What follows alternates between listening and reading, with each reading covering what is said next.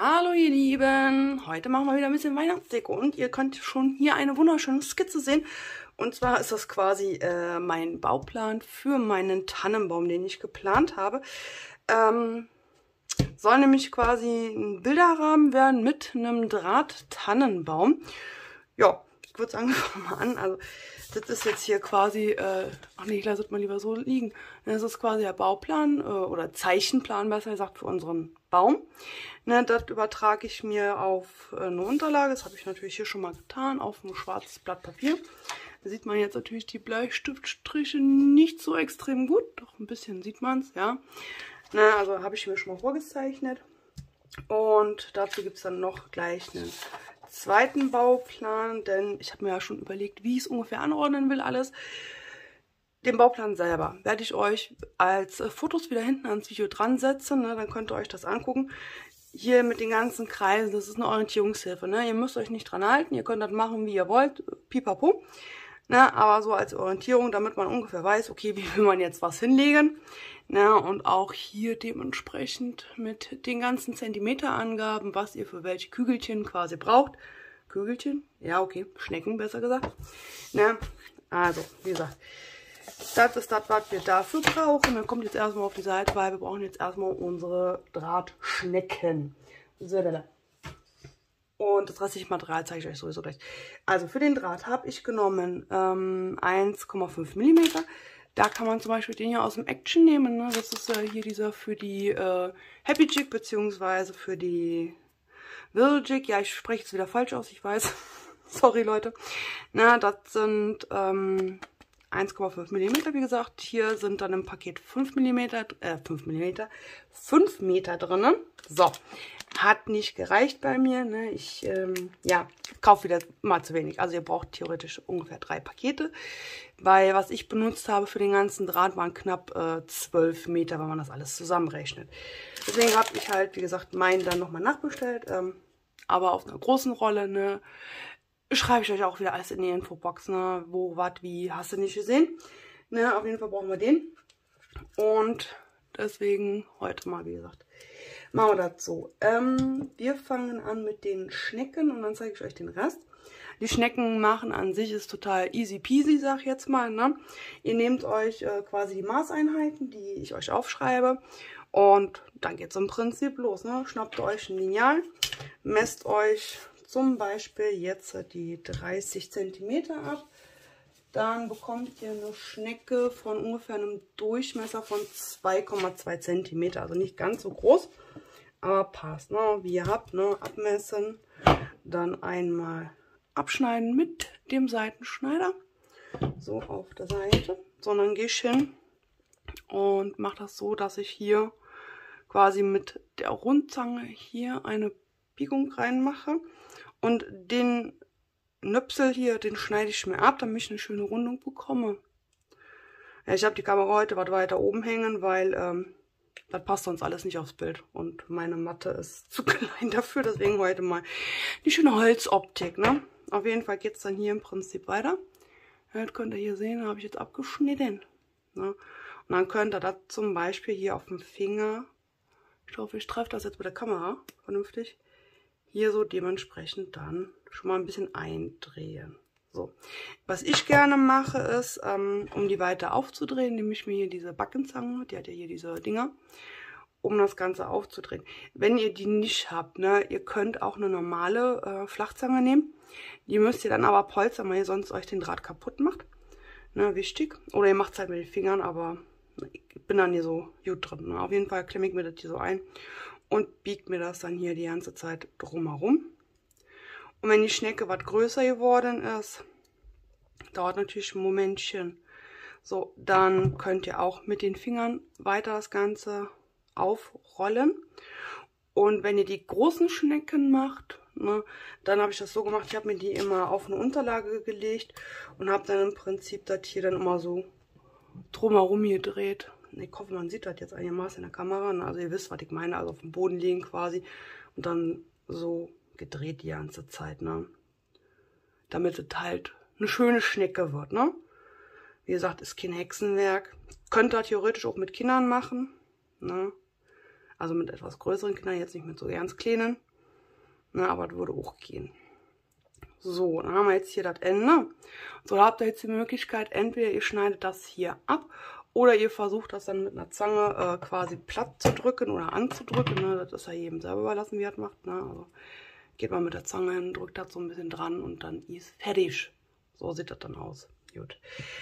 Ja, ne, das macht er dann so. Ganz viele davon. Na, ich weiß gar nicht, habe ich die Anzahl hingeschrieben? Nee, aber auf dem Bauplan kann man das sehen. Also deswegen, egal. ja, und dann legen wir uns das quasi dann auf unsere schöne Unterlage. Na, ist A4-Blatt und den Bilderrahmen, den ich dazu gekauft habe, ist auch ein A4-Bilderrahmen. Vom Action übrigens. Und der ist ähm, auch äh, Gold und Schwarz, deswegen schwarzer Untergrund. Und die Dekoration für alles ist dann dementsprechend auch in Gold gehalten. Ne? Wie gesagt, ihr klebt euch das auf. Ich habe das dann schon mal vorbereitet, alles für euch, damit das nicht wieder so lange dauert. Moment. Sieht dann so aus. Na, also ich habe schon mal festgeklebt.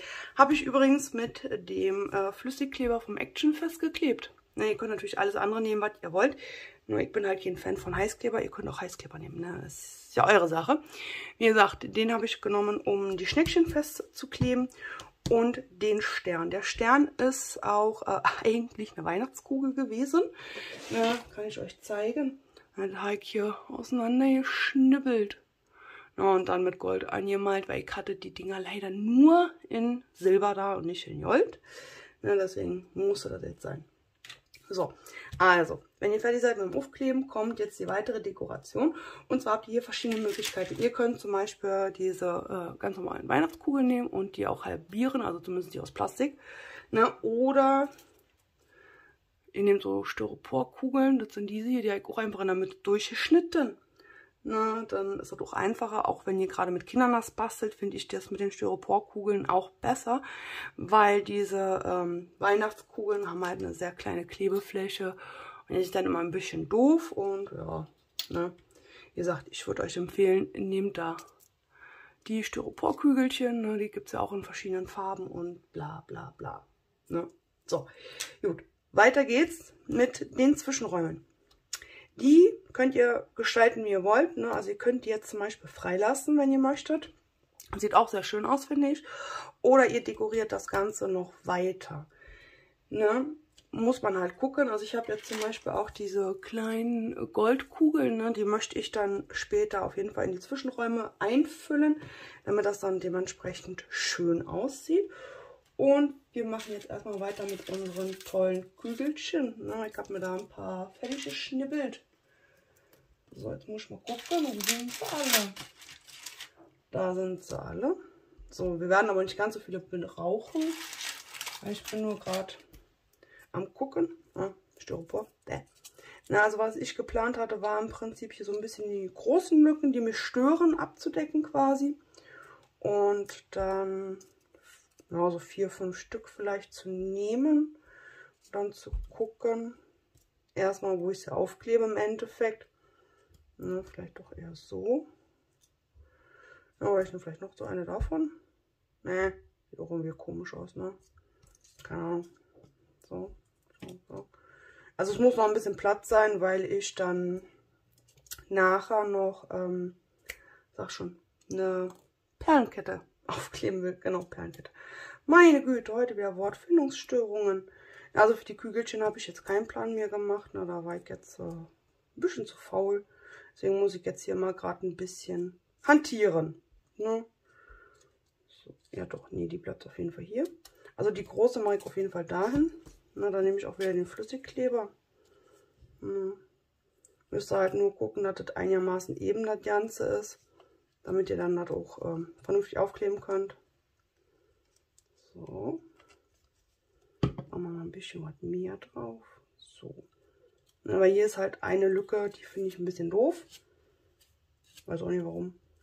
So. Ja, das kann dann jetzt ganz in Ruhe sich festkleben. Und dann dementsprechend ja, verteilen wir die restlichen Kügelchen jetzt mal. Hm. Sind schon ein bisschen lidiert, die Kugeln sehe ich gerade. Hab die ein bisschen sehr dolle gedrückt. Zwischendurch. Na, ihr könnt das auch wieder mit Heißkleber machen, wenn ihr wollt. Wie gesagt, ich bin kein äh, Heißklebe-Fan, deswegen mache ich es nicht. So. Die kommt dahin. Und das Stuckelchen kommt nach oben. So. Ja, doch. So ist okay. Denke ich mal.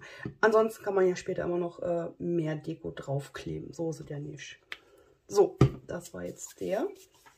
Und jetzt schnappen wir uns unsere ähm, äh, Perlenkette. Das ist die hier.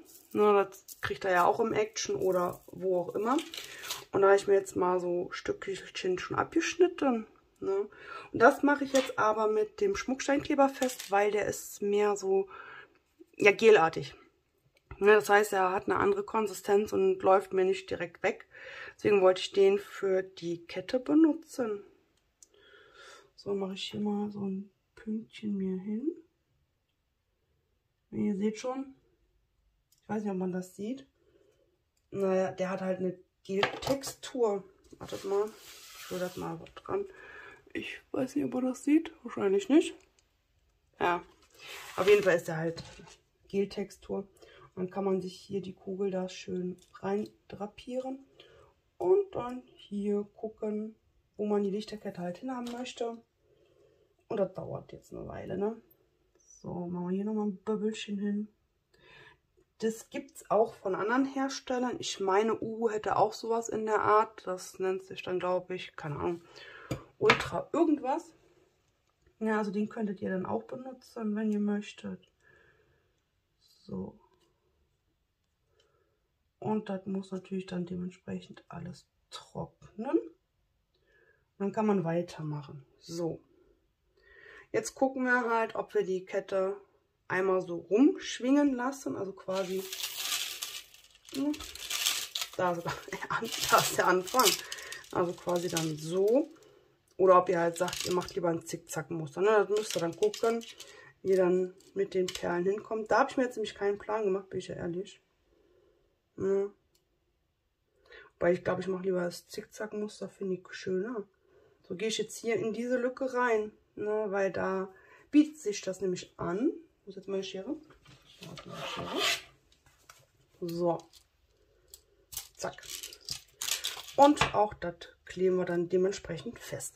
So, und ich würde jetzt sagen, ich mache jetzt mal hier mit der schicken Kette weiter und dann sehen wir uns gleich zum Ende hin, wenn ich quasi fast fertig bin und dann zeige ich euch den Rest noch, wie ich das alles mache. Ich würde sagen, bis später, ihr Lieben. So ihr Lieben, der Kleber ist endlich getrocknet, das heißt, ich kann euch jetzt das Ergebnis zeigen. Und zwar sieht das Ganze so jetzt aus. Ne?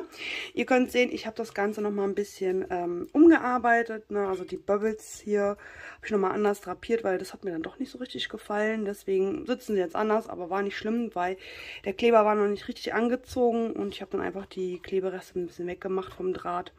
War also kein Problem. Die Ketten selber, hier die Perlenkettchen, die habe ich jetzt nicht komplett festgeklebt. Das heißt, wenn ihr das euch hinstellt, dann habt ihr hier so, so richtig schönes Gebaumel. Und das finde ich persönlich sehr schön. Na, und ich habe dann halt die Lücken halt mit den Perlen aufgefüllt, was ich euch ja auch gesagt hatte. Ich mache das mal ein bisschen näher, dann könnt ihr es besser erkennen. Ne, weil ich habe jetzt äh, das Handy sehr hoch hängen, ne, damit das ganze Ding überhaupt ins Bild passt. Ne. Gut, na, also wie gesagt, ihr seht hier, ich habe mit den Zwischenräumen hier die Perlen reingeklebt. Das habe ich auch wieder mit dem Actionkleber gemacht, weil der halt so schön in die Ecken auch reinläuft. Und deswegen halten die auch sehr gut. Und mir ist im Nachhinein eingefallen, ihr habt ja wahrscheinlich alle nicht solche Perlen zu Hause. Aber die Rocales-Perlen, ne, die kennt ihr auch, diese Mini-Perlen, die sind ähm, momentan beim Action wieder drin im Sortiment. Und da dachte ich mir, könntet ihr das mit den Rocales-Perlen auch machen, ne? Sind auch noch ein Ticken kleiner, das heißt, ihr könntet da theoretisch sogar noch mehr in die Zwischenräume reinmachen, wie ich schätze.